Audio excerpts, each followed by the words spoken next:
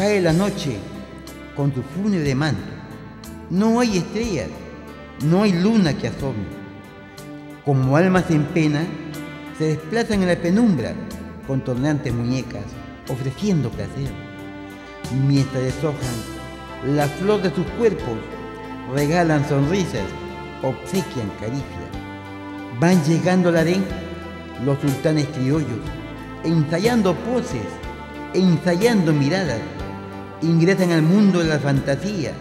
Entre cuatro paredes de nidos pequeños, se entregan jadeantes al fuego del amor, mientras se contornean cual fieras heridas, el silencio los envuelve, habla solo el dinero, termina el juego, termina la fantasía, vuelve a la realidad. Todo es frío, no hay calor. Cantan los gallos, anuncian la madrugada. Aquellas ninfas, cual cenicientas hechizadas, abandonan el upanado para enfrentar la realidad. Rostros hermosos, con gafas oscuras, esconden artistas del teatro de la vida, que sonríen por fuera y lloran por dentro, al actuar por minutos en esta comedia trágica.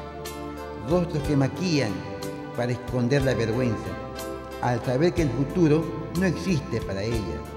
Antes que rompe el alba, se desplazan por oscuras calles, cual almas en pena, huyendo del mundo.